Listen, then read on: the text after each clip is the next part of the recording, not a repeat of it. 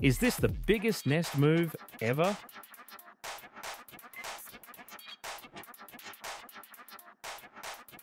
Today I'm moving my meat ant colony from here to here.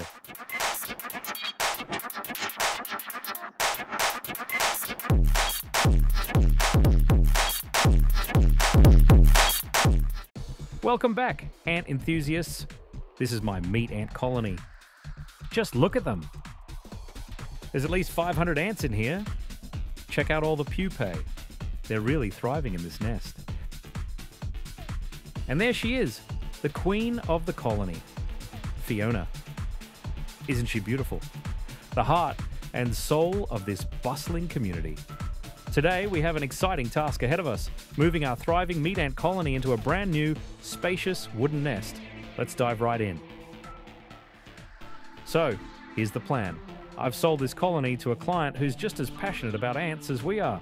To make their move as smooth as possible, we need to relocate them from their current setup to this stunning new wooden nest. This wooden nest is the biggest nest I've ever moved ants into, and it's a beast. Measuring 90 centimeters long and 30 centimeters wide, it's absolutely massive. But trust me, the meat ants are going to love it. These northern meat ants, also known as Iridomyrmex sanguineus, grow their colonies incredibly quickly. So this new nest will not only give them plenty of space to expand, but also mimic their natural habitat. They will need a large outworld to roam and discard their waste as well. And this kangaroo skull I picked up last time I was out west is a perfect addition to this outworld. So here they are in their outworld now, nice and calm and very happy. I'm about to send them mad by adding a new connection to allow them to explore the wooden nest. Let's start by gently coaxing the ants out of their old nest. This is one of our Ytong nests available through Antastic in Australia. The ants are happy in there and they have a bit of hydration caused by a heat pad. Let's run a T connection from the old nest to the new nest, while of course still keeping our outworld connected. I'll take the black covers off the old Ytong nest to open the nest up to light, which they definitely won't like. I've also put a heat pad under this new wooden nest to make it more attractive for the colony. And it will also produce a bit of condensation that will mimic their true environment in the wild. First, the foraging workers will move. These ants are usually the first to explore new territories. Off they go to lead the way into the new nest. Now I've disturbed them. They've gone nuts. Look at them swarm. Look how they're racing into the outworld and then back along the tube. They're frantic with activity. They're moving their brood around now too, trying to protect them from perceived danger. Here's an interesting fact meat ants are known for their aggressive behavior when defending their territory. When threatened, they release a chemical alarm signal that rallies their mates to swarm and attack.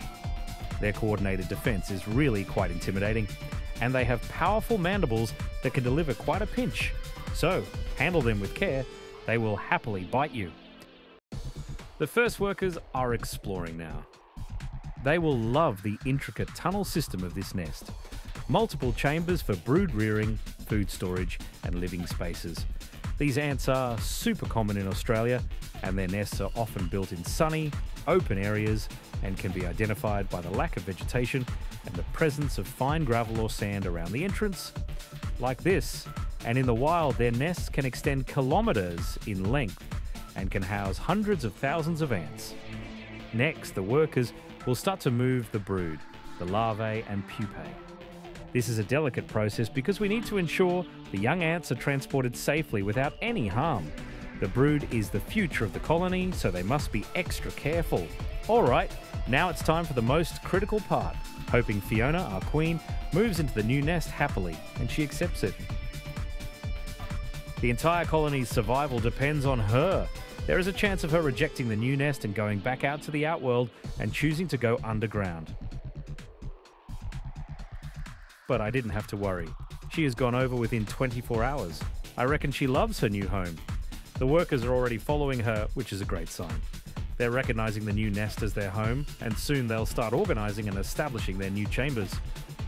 So now they've had a couple of days exploring their new environment, and check this out I've just dropped a dead baby mouse into the nest. The meat ants are swarming it like crazy. This is a perfect example of meat ants' natural scavenging behavior.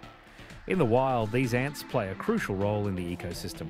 They're opportunistic feeders, taking advantage of any available food source, including dead animals. They'll break down the carcass, which helps recycle nutrients back into the soil. Watch how organized they are. Working together to dismantle the mouse, using their powerful mandibles to cut through the flesh. They'll transport small pieces back to their nest to feed the larvae and other colony members. This teamwork is crucial for their survival. By working together, they can handle prey much larger than themselves, and they can also secure this food quickly before other scavengers find it. I've also just put in some sugar water, and the meat ants are all over it. Check them out. They're super thirsty, and you can see them guzzling it up. This sugar water is a great source of energy for them. They'll share this food source among the colony, transporting it into the main nest to the non foraging workers. And of course, to Her Majesty Fiona. Okay, now for one of the final steps disconnect the old nest completely. It's a little tricky, but I did it as quickly as possible. You just have to pick up a few strays with these featherweight ant tweezers. We do sell these at Antastic if you are after them, and honestly, I use mine all the time.